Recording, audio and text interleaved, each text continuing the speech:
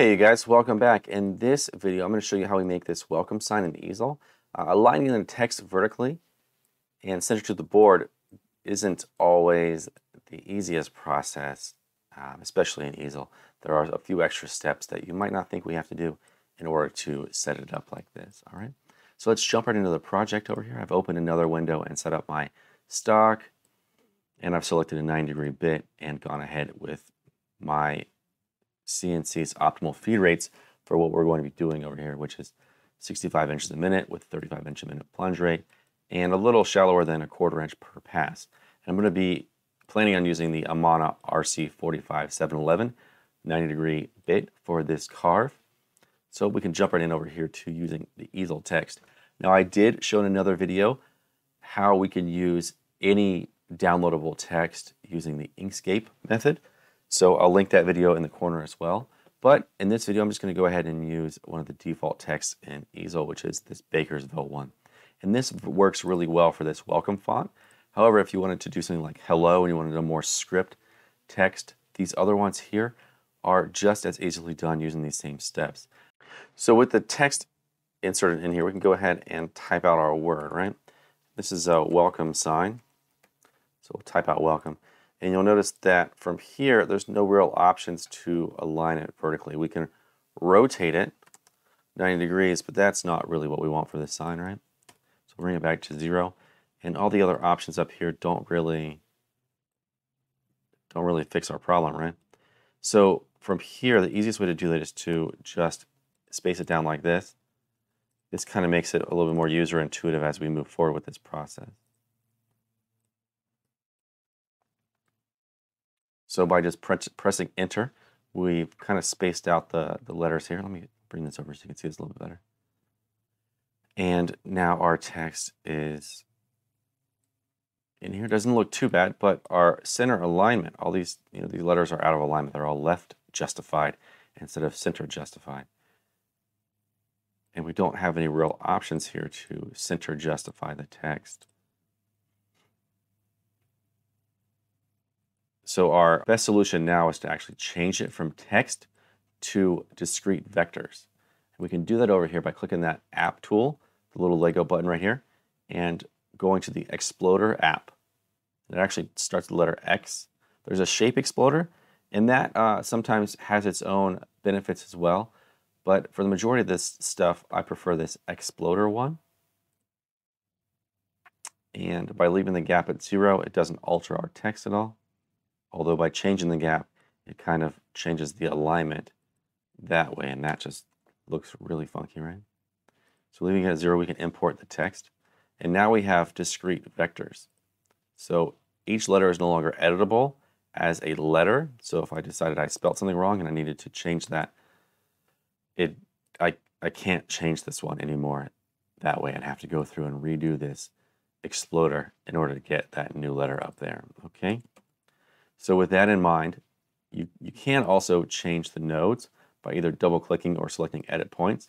So it is a vector now and you can edit it like a traditional vector. If you did have text that was had some anomaly that you needed to edit or delete or modify. Uh, but now with it selected like this as discrete vectors, we can do a few things like we get this these uh, section up here to align stuff. And right now it's already almost aligned left justified, we can right justify it, or we can center justified. So now that it's centered amongst each letter, that's just what we kind of needed here for the board. Oop, that's our previous text, so let's get out that out of the way and bring this one back in there. Now I did a pretty good job of bringing it in near the center, but you can tell it's adjusted to the left just a little bit. So we can go ahead here and select Edit and Center to Material, and that will fix it vertically and horizontally so that it is perfectly centered. Now, this text is a little small for my liking for this sign, so we could either enlarge it by grabbing this, but we just changed our center point. Um, so we'd have to go up here and re-center to material again.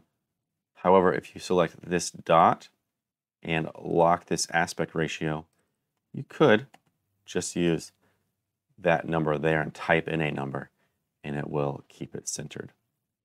Now I did notice that our gap between the letters is also more than I would usually like for this sign.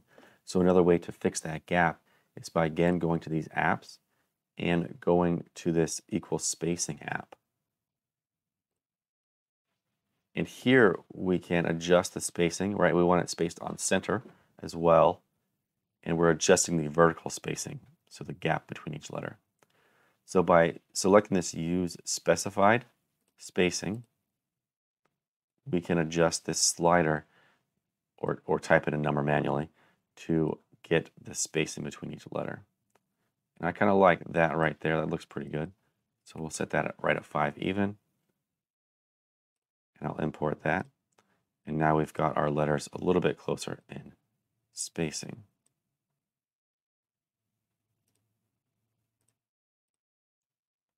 And that allows us to get a more traditional looking welcome sign. Again, you can modify this however you guys see fit.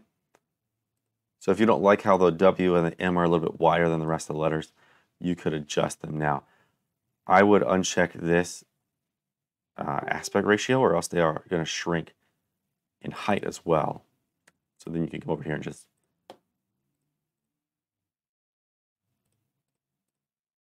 adjust it like this. And it kind of brings them in to look a little bit similar in size to the other letters.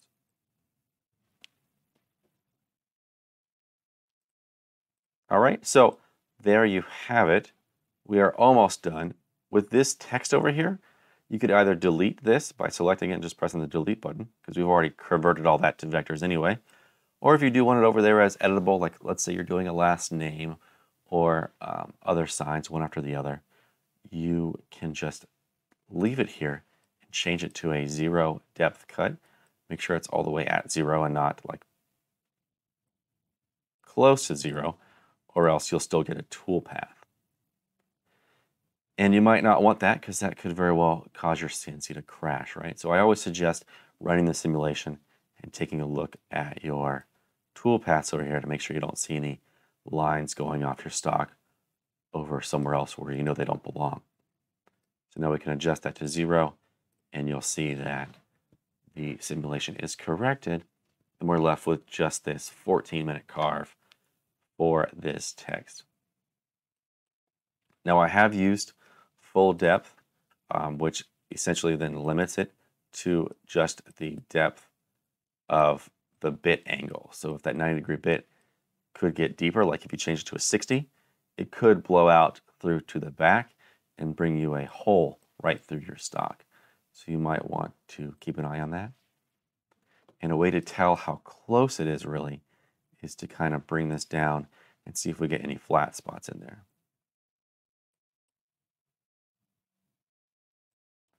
So it looks like our biggest letter here was that C and the O, our widest point, right?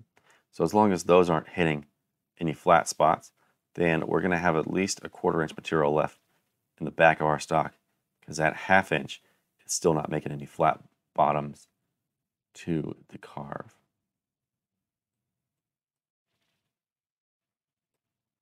So we're still here at 14 minutes and we can go ahead and run this carve and complete our welcome sign now.